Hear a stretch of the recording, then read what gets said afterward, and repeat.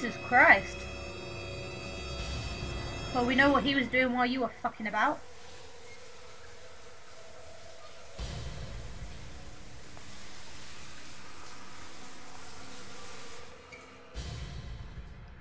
Isn't that technically changing the crime scene? Because you would have had to turn it on. And you're not smoking on the crime scene.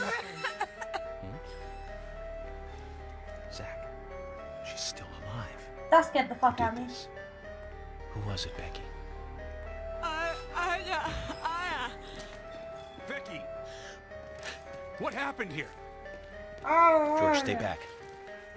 She's trying to speak. She doesn't have a tongue. We don't have time! She's dying! Thomas, cut that wire. No! We must get her to the hospital immediately. Listen. No, no, no. She's even screaming no. She's screaming no. What are you doing? Get out of the way! I'll do it! No, don't. George, stop.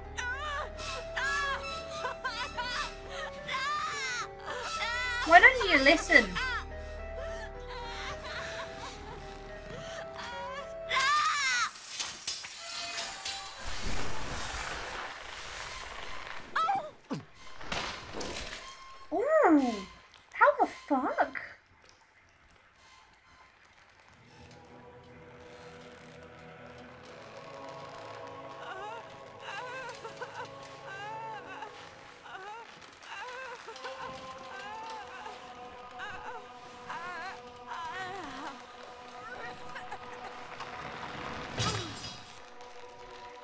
Yet none of them thought to like actually save her.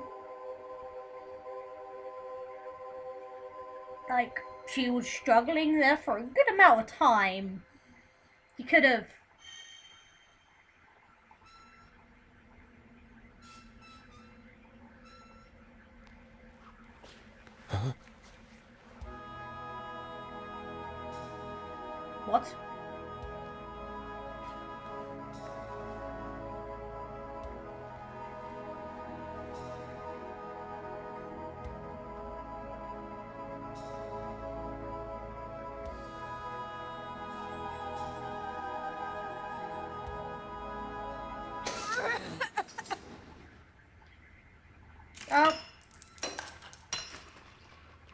Well, we know why she was struggling to speak now. I thought it was because he cut off her tongue.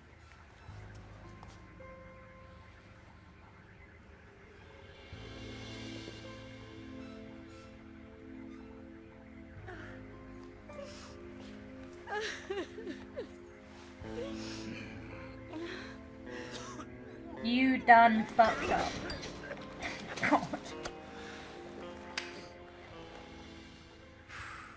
Us good this time, Zach. Jesus Christ. Whoa. Oh, they tried to cover it. Okay. Key for the safe. Okay. Okay. What are you gonna say? What the hell? Even Becky has been killed. Can I shave? Why would I open that? Hmm. Man. Sorry guys, it failed. Maybe if George hadn't cut the wire, but... What are you gonna say? Becky. They're not gonna say much, I guess, but... That is kind of... Oh. He is.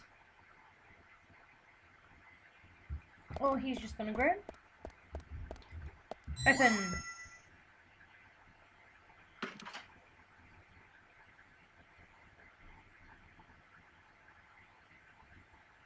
Ooh, this. What is this? Is empty. It's pretty empty.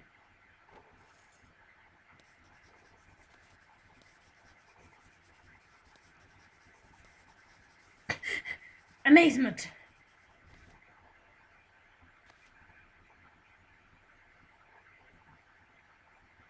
My dear sister, I'm so, so sorry. I was a fool to fall for a man like him. I don't have the words to apologize to Anna.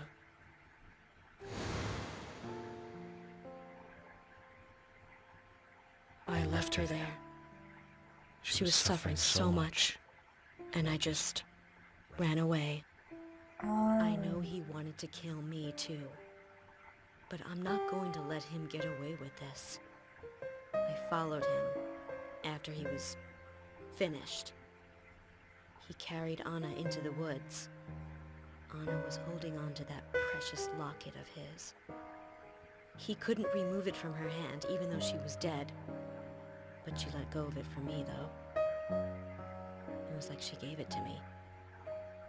So I brought it home. I might be able to bring Anna's killer down with it. I want you to see it. I know even he wouldn't dare to harm you. He'll catch me, though, if I go into town. I'm trapped in my house. So I've asked Isaac and Isaiah to deliver it. They totally believe that Anna became a goddess.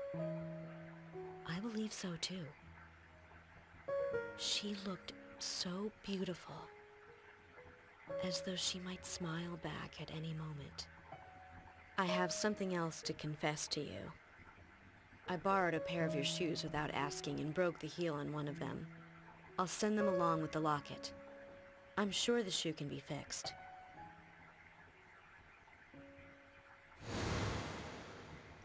So this all leads back So Becky is Miss Stiletto Heel. And she gave the locket to the twins. Must be the special secret Lily told us about, Zach. We'd better go and see her first thing tomorrow.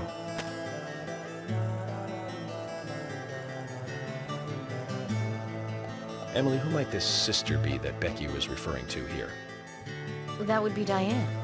Didn't you know Diane and Becca were sisters? I should have known, Zach. We're all family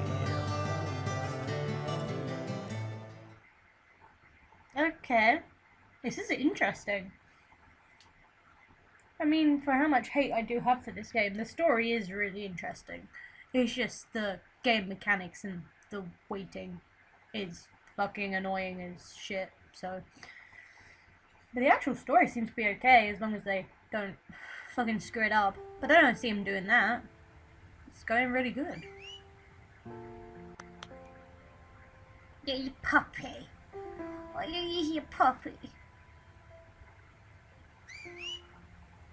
Puppy, so cute. Oh, yeah, boy, boy.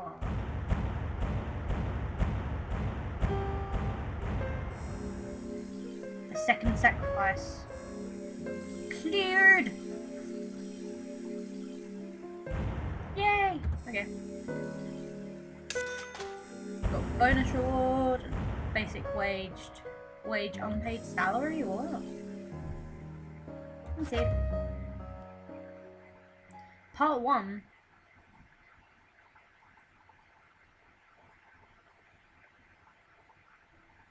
Oh, I can't believe it, man.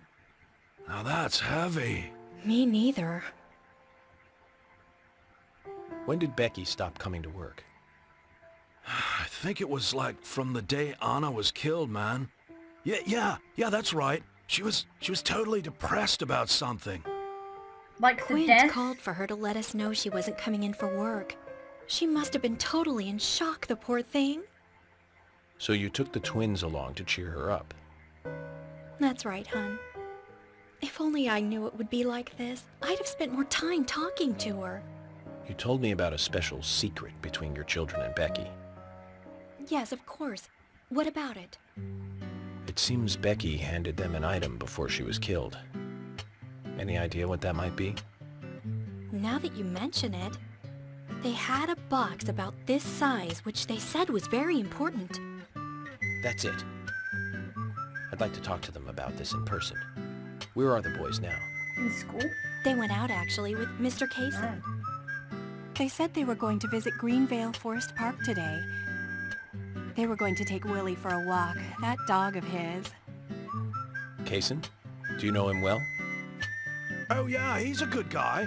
He always brings us gifts from his road trips. The kids love him, so we let him take them out every once in a while.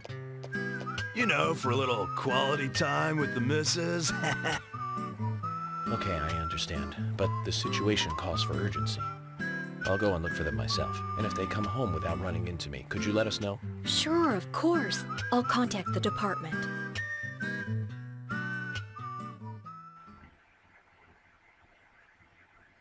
Potato. Let's go.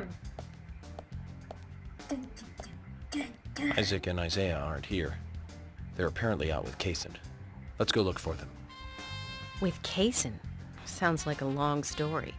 Any ideas where to start looking? Lily told me where they went. No problem. Let's go.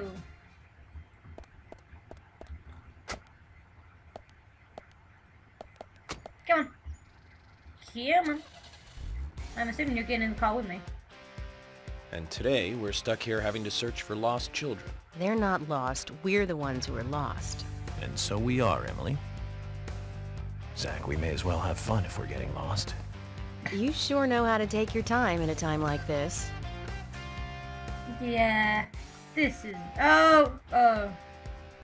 It's Carol! It's Carol! I want to talk to her. She's not going to stop, so I don't know why I'd bother. But, uh, let's go.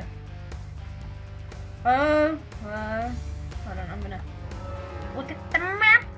Now that I know that I can look at the map while in the safety of a car. Oh, wait, what? Where is it? What? Okay, so I need to go here and here and like up here and... Is this me? I'm assuming this is me, so I need to turn around and take this road down here. Oh! Stop it! Stop it!